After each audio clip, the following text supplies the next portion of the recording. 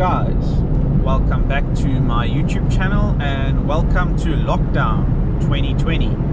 Uh, we've had lockdown here in South Africa for around three months, and while some uh, rules and regulations have been lifted, we are still in lockdown. That means no camping, unfortunately.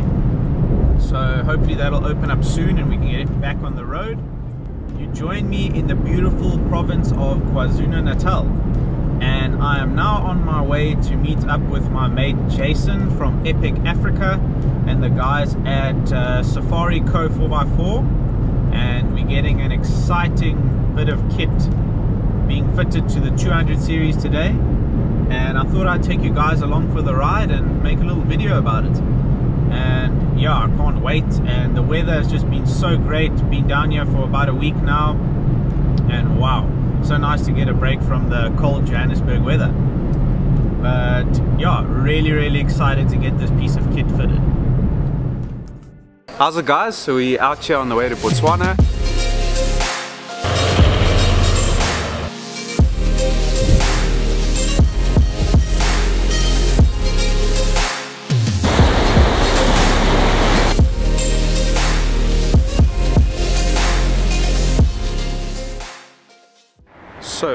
Out here at Safari Co 4x4 in Pietermaritzburg and I am getting a replacement front bumper for the Land Cruiser. Uh, it is from a company called Hamer. Thank you so much Hamer. Looks like a fantastic piece of kit. Really looking forward to it. Um, I'm also adding a 13,000 pound winch from Runva Looks like also a great piece of kit. Hopefully I'll never have to use it. At some point I'm going to have to use it. Uh, so yeah, it's just great to finally be doing the front bumper. It's something I've been putting off for quite a while. And yeah, I'm glad it is uh, a Hamer bumper. And the reason for that is I think these replacement front bumpers for the modern day vehicles fit in really nicely compared to the traditional uh, bull bar. Whilst the traditional bull bars are fantastic, I think yeah, this just fits in with the modern day vehicles. It will also increase the clearance and make the vehicle look a lot better. Great, great looking bumper. Definitely up there with the best of them.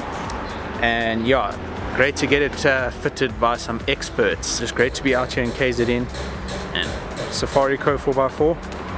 Like a kid in a candy store here. The showroom is also next level. Whilst I looked around for some more mods for the Land Cruiser, it was out with the old and in with the new. One of my biggest concerns was whether or not the front springs would cope with the added weight of the steel bumper and winch.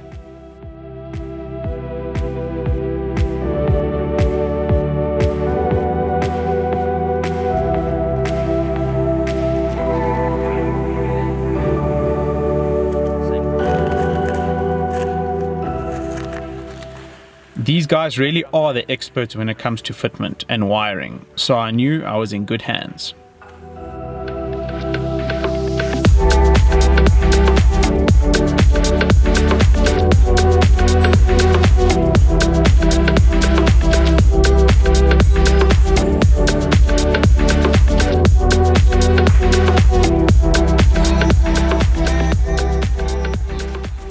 Another concern was the amount of grass caught in my radiator, which the team at Safari Co 4x4 kindly cleaned out for me.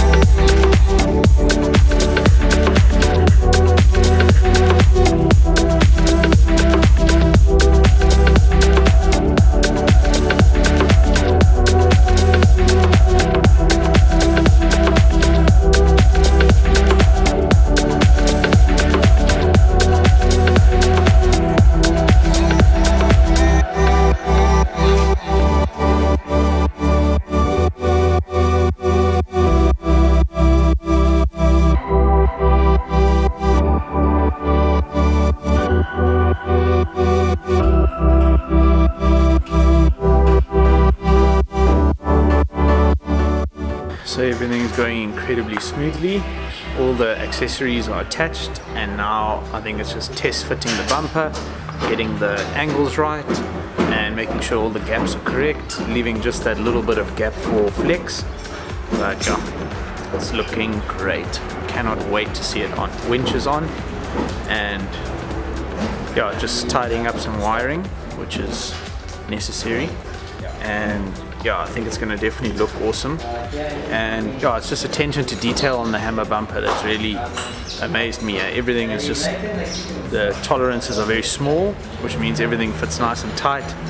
But yeah, nice little bits and pieces that get you very excited when you have a look at it. And yeah, some awesome, awesome little additions. And then my Lightforce Venom spots are just going to go straight back onto the bumper uh, obviously no nudge bar and stuff to mount them now. So yeah, let's see what it looks like. The reason for the 13,000 pound synthetic winch rather than the 11,000 pound was that the 200 series is not a light vehicle and the possibility of winching it out of the mud in the Okavango Delta with a big trailer in tow meant I needed as much help as I could get.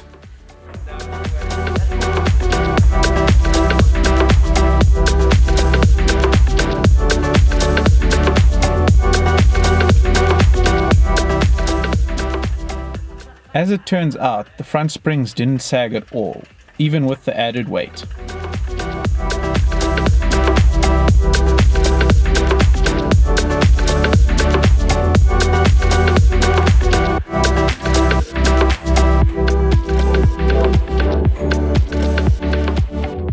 Awesome, and we are done.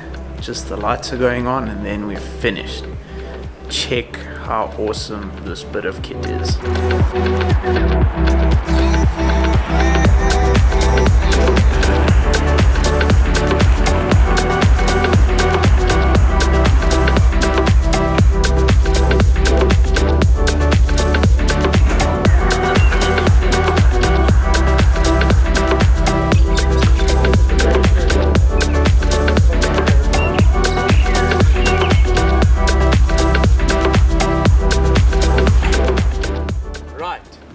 So the Hamer front bumper replacement for the Land Cruiser 200. I think you will all agree it looks absolutely fabulous. Really changed the look of the vehicle, I love it. Gives it an aggressive stance, makes the tires look a lot bigger. And also in terms of practicality, it gives me a lot more options. I've obviously mounted the Lightforce Venoms here I used to have them on my nudge bar, but now they're here on the front bumper. Uh, and also two places for D-shackles. These are not rated recovery points, but these two underneath are. So remember to always snatch or recover from these ones. These are rated underneath the, the bumper over here. These just, they, they look really good and that's fine for me. Uh, I've got the little plate for the number plate which you can lift up. Underneath there is the 13,000 pound Runva winch. I'm really happy with the winch and the way it's uh, mounted. Obviously I haven't used it yet, but yeah, cool that the flap just goes down and covers it. And yeah, still have a number plate obviously. And yeah, just attention to detail is superb. Obviously the Hamer branding over there. And I absolutely love these fog lamps. And they're not just fog lamps, they're actually daytime running lights as well, which is really cool. They look absolutely superb. I'm very, very chuffed with them. I never had daytime running lights apart from here. So that's a nice little extra. And they look great. And obviously space for the headlamp washers and the PDCs, the park distance control sensors. Both of them go either side, which is really nice. Nice to have that in the bumper. I didn't lose any functionality. And the finish is superb. The powder coating is really, really nice and it fits really tight on the vehicle which I love.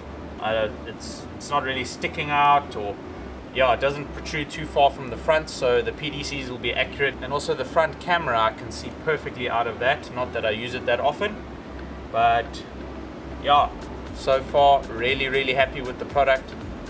And I will do a follow-up review in about a year's time. Absolutely chuffed with the upgrade and I can't wait to get some shots with the bumper in. I think it makes the vehicle look superb. Another awesome touch from Hamer is the built-in indicator feature.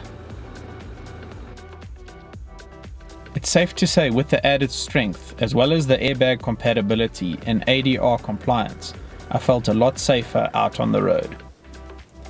Thanks for watching. If you enjoyed the video, please don't forget to like and subscribe. And until the next adventure, cheers.